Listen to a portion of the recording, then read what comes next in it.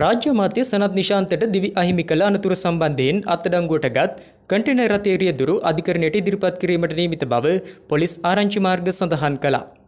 අද උදෑසන කටුනායක දෙස සිට කොළඹ දෙසට ගමන් කරමින් සිටි රාජ්‍ය අමාත්‍ය සනත් නිශාන්ත ගමන් කළ ජීප් රථය කටුනායක අධිවේගී මාර්ගයේදී කන්ටේනර් රථයක පිටුපස ගැටි මෙම අනතුර සිදුව තිබුණා. අනතුරින් රාජ්‍ය අමාත්‍ය සනත් නිශාන්ත සහ ඔහුගේ ආරක්ෂක නිලධාරියෙකු ජීවිතක්ෂයට පත් වුණා.